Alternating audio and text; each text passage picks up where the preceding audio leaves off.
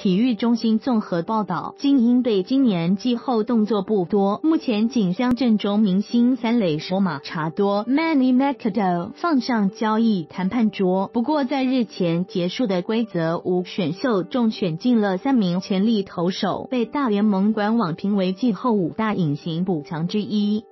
这三名透过规则五选秀加入精英的球员，分别为左投手科提斯 （Nestor Cortes） 以及右投手阿劳霍 （Pedro Ajo Mesa Josmisa Jr.）。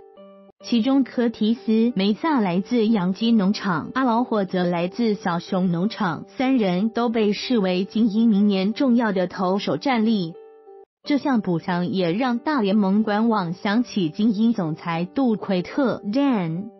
杜奎特也对今年能抢下这三名年轻好手表示振奋。他说：“这三个我们都很喜欢，而且他们相当有机会能在春训有一番作为。”陈伟英法新社。